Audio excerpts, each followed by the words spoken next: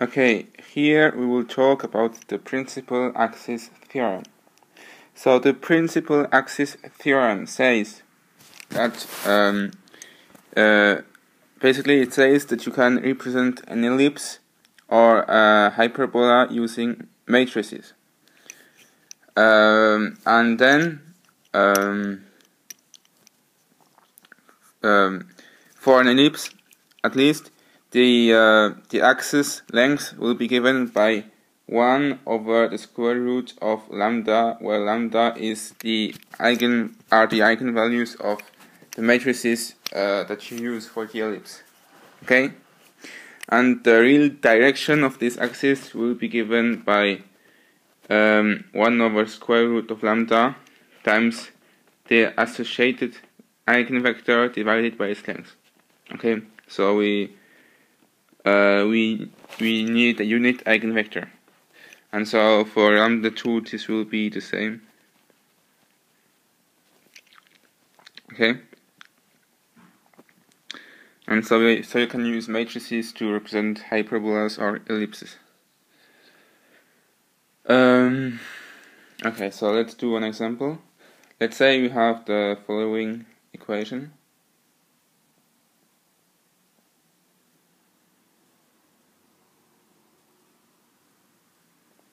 Okay. Uh, so this is um, an ellipse, basically. This is the equation for an ellipse. Uh, now we will uh, we want to find the axis of the ellipse. Uh, okay, and so we can uh, rewrite that in matrix form. The following way: you take the vector x epsilon transpose uh, then first coordinate, the first coordinate is um, 1. Uh, then you take a half, 1, 1 over 2, and here also 1 over 2, and then 1, and then the vector x, y. Okay? If you multiply that, you see that you get um, x, y times uh, x 1 half x 1 half y sorry and y. Okay. And uh, if you multiply that out you should get uh, your equation back. So let's do that. You will get uh, x times x plus 1 half times x times y plus uh, 1 half y times x plus y times y. And so you get uh, your equation back. Okay, so you get x squared plus xy plus y squared which should be equal to 1 okay? So uh, this is our matrix. So uh, yeah. Okay? So the coefficient of before the x squared and y squared are uh, basically uh, you take the square root and you put them in the first uh, the entry in the entry in the first row, first column, uh, the first entry in the first row, first column, and the, uh, the last entry in the last row and last column. Okay, uh, and then uh, these elements here, you take uh, half of the coefficients before the xy. Okay. So yeah, uh, half of 1 is 1 over 2. Okay. Uh, so this is our uh, matrix. Now, to find the axis, we will find the eigenvalues and eigenvectors of this matrix. So if we solve that, um, if we find the determinant of 1 minus lambda 1 over 2, 1 minus lambda 1 over 2, if we find that, we should get um, lambda squared minus 2 lambda um, plus 3 quarters. I think this is correct. And we can factor it and we get lambda minus 3 over 2 times lambda minus 1 over 2 should equal 0. So our eigenvalues are lambda 1 equals 3 over 2, lambda 2 equals 1 over 2. Okay? Now we can find the eigenvectors. So uh, for our first eigenvalue,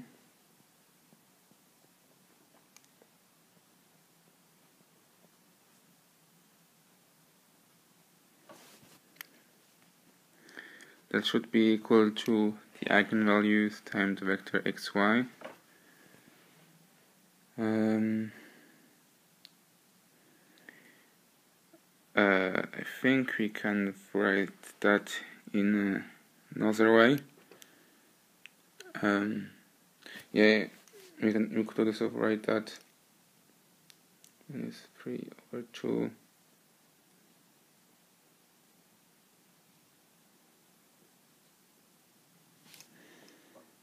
Uh, okay. Uh,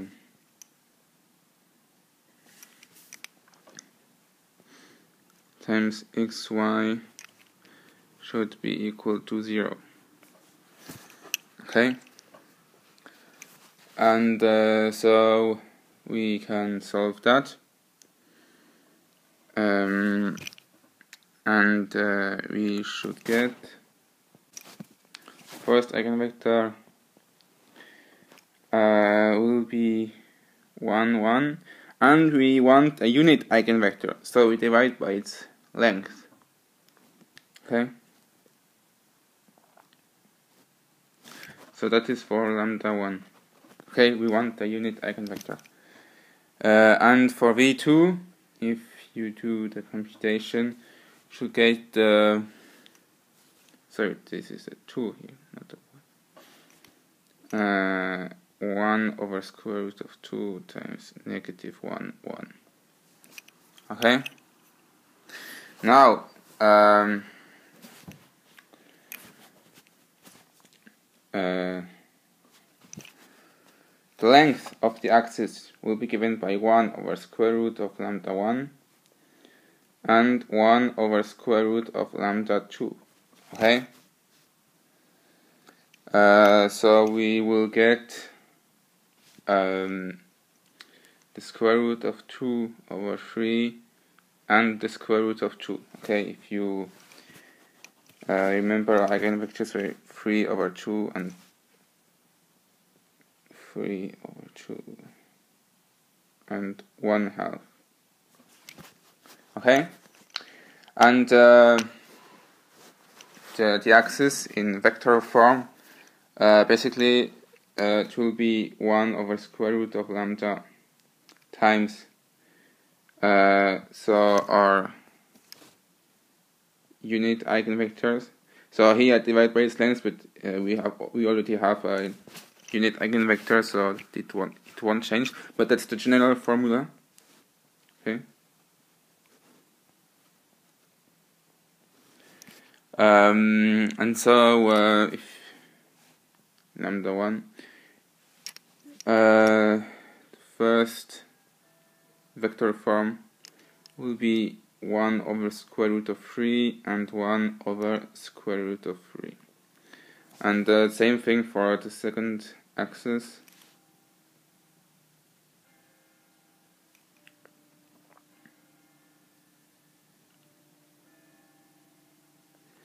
Here you should get so it's just computation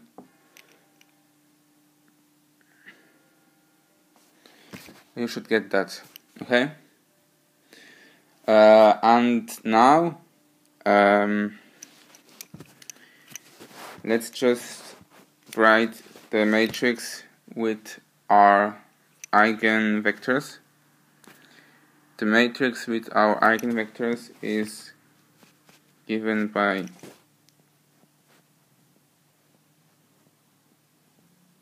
the following uh, okay. And um, now we can find the new x and y coordinates of um, of uh, our ellipse. Okay.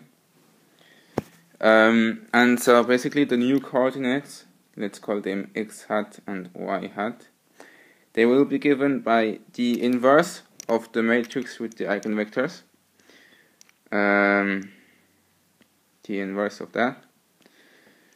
Um, times the old coordinates coordinates x and y. And because now here's the trick. Because uh, we have already um, we have already unit eigenvectors. And the matrix that we used is symmetric okay?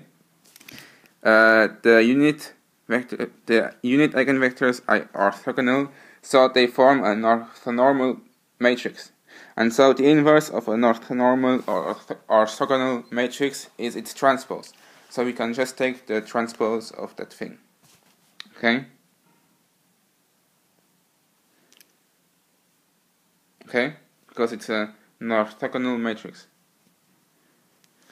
So you get your new coordinates. Uh, okay? So you should get that x hat is equal to 1 over square root of 2 times x plus y and y hat is equal to 1 over square root of 2 y uh, minus x plus y. Okay? And uh, so uh, the equation of an ellipse is um, 1 equals x squared over a squared. So that's the general equation uh, plus y squared over b squared okay and uh, so remember that our uh, axes are 1 over lambda squared. Okay. And uh, here we will use our new coordinates x hat and y hat. So if we, we input our uh, so let's just recall our lambdas. They are 3 over 2 1 over 2